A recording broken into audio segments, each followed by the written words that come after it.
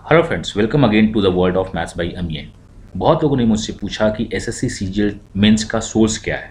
Questions काफ़ी नए थे। डेफिनेटली क्वेश्चंस काफ़ी नए थे। कॉन्सेप्ट बहुत पुराने हैं। ये अलग बात है कि सीजीएल्स वालों ने उस कॉन्सेप्ट को देखा नहीं। वो ये बोल रहे हैं कि कॉन्सेप्ट कैट के हैं। To very honest concept maths के हैं।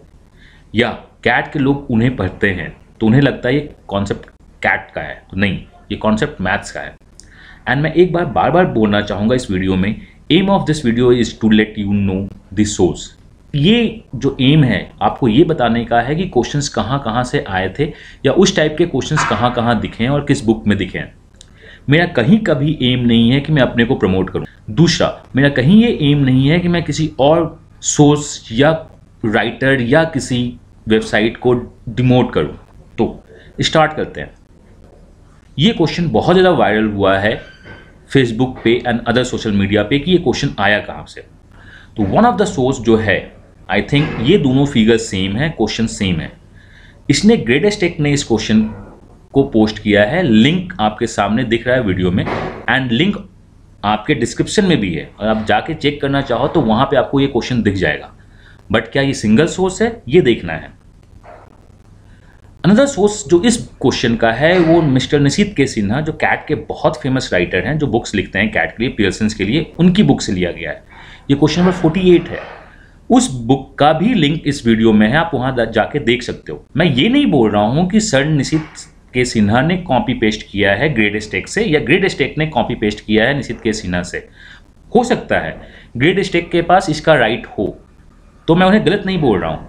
बट अगर उनके पास इसका राइट नहीं है तो उन्हें क्रेडिट देना चाहिए। तो प्लीज़ ग्रेड स्टेक आप मेरे वर्ड्स को दिल पे मत लीजिएगा। जस्ट ये एक सजेशन है। मुझको नहीं पता कि इंटरनल स्टोरी क्या है। बट आप हेल्प कर रहे हो स्टूडेंट्स की, बहुत अच्छी बात है। सेकेंड मैं जो बोलना चाहूँगा कि ये सोर्स नहीं है।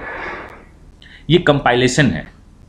Like maths album geometry album of maths by M page या मैथ्स बाई एम ब्लॉग या यूट्यूब चैनल ये कंपाइलेशन है। अगर आपसे कोई भी बोलता है कि ये वो वोकैब इस डिक्शनरी से आया है तो आप मानोगे कि डिक्शनरी सोर्स है? नहीं। ये जो चार जगह है, ये कंपाइलेशन है कॉन्सेप्ट का। क्वेश्चंस तो यहीं से आएँगे बिकॉज़ कॉन्सेप्ट मैक्सिमम यहाँ पे लिखी हुई है मैंने इन सिंपल लैंग्वेज में। जैसे ये क्वेश्चन हुआ स्क्वायर किसी ट्रायंगल के अंदर।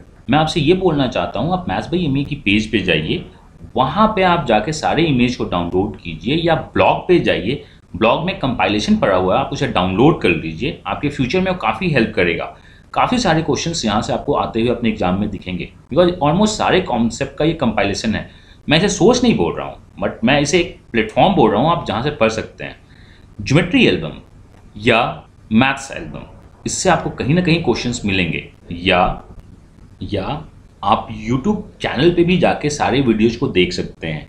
कॉन्सेप्ट नोट्स कर सकते हैं। एंड ये सारा सोर्स नहीं है, ये सारे कंपाइलेशन है कॉन्सेप्ट के एंड क्वेश्चन के। तो इससे क्वेश्चन तो आने ही आने हैं। इट्स जस्ट लाइक सेम जो मैंने एग्ज़ाम्पल दिया डिक्शनरी से वर्ड आना है, उसी तरह यहाँ से क्वेश्चन आना ही आना है। मैं अपने आप को प्रमोट नहीं कर रहा हूँ बट मैं ये चाहता हूँ कि आप पढ़िए और अपना बेस्ट दीजिए। ओके एंड अगर आपको पता है कि क्वेश्चंस कहाँ से आ रहे हैं तो आपको कैसी पढ़ाई करनी चाहिए, ये सजेशंस मेरा। First learn the maximum from your mentors आप जिस टीचर के अंदर पढ़ रहे हो, वो आपके लिए बेस्ट देना चाहते हैं। वो नॉलेजेबल हैं। ये नहीं बोलना चाहिए किसी टीचर को कि वो टीचर को कुछ नहीं पता है और बस शॉर्टकट सिखाता है। वो टीचर डेफिनेटली आपसे ज़्यादा जानता है। वो शॉर्टकट शायद इसलिए सिखा रहा हो बिकॉज़ एसएससी में शॉर्टकट्स आते थे। बट हाँ कॉन्सेप्ट को भूलना नहीं चाहिए आपको। अपने मेंटर्स को रिस्पेक्ट कीजिए, उनसे पढ़ाई कीजिए और अच्छे से पढ़ाई कीजिए। सेकेंड सजेशन मैं जो देना चाहूँगा, वो प्रीवियस ईयर के क्वेश्चन करने मस्ट हैं। अगर आपने प्रीवियस ईयर का क्वेश्चन नहीं किया है तो इसे प्लीज़ कीजिए। बिकॉज़ जो क्वेश्चंस आ चुके हैं और काफ़ी अच्छे क्वेश्चंस हैं। अगर आपने प्रीवियस ईयर कर लिया है तो आप अरुण शर्मा, निशित के सिन्हा या सर्वेश कुमार तीनों में से किसी भी एक बुक को उठा के ये तीनों कैट के लिए क्वांट की बुक्स क्रिएट करते हैं, को उठा के आप सॉल्व कर सकते हैं। क्या आप 200 स्कोर ला सकते हैं 190 स्कोर ला सकते हैं इन सबको करने के बाद? तो मैं बोलूँगा ये डिपेंड करता है आपके एंड आपके स्पीड पे। पर हाँ इन तीनों बुक्स की कुछ अपनी खासियत है और कुछ अपनी खामियाँ भी हैं। तो आप तीनों में से किसी एक को उठा सकते हैं, उसको सॉल्व कर सकते हैं। बट हाँ एक बात याद रखिएगा, राह पकड़ तू एक चला चल पा जाएगा मधुशाला। तो किसी एक बुक को उठाइएगा, उसको अच्छे से सॉल्व कीजिएगा तो आपका कॉन्सेप्ट काफ़ी इंप्रूव करेगा। अगर आपने प्रीवियस ईयर सॉल्व कर लिया, अगर आपने ये बुक सॉल्व कर लिया तो मैं जाके बोलूँगा 500 सीरीज़ एंड कॉन्सेप्ट वीडियो जो मैं अपलोड करता हूँ या शेयर करता हूँ, उसको देखिए। बिकॉज़ मेरे question 500 series is the series of CAT question जो मैं 500 सीरीज़ रिलीज़ करता था। तो वो तभी कीजिएगा जब आपने पहले दो कर लिए होंगे। बिकॉज़ इसके कॉन्सेप्ट थोड़े से ज़्यादा है या आप ये मान सकते हो बहुत ज़्यादा कॉन्सेप्चुअल है। कॉन्सेप्ट वीडियो मैं जो अपलोड करता था अभी तक वो ओनली कैट के लिए है।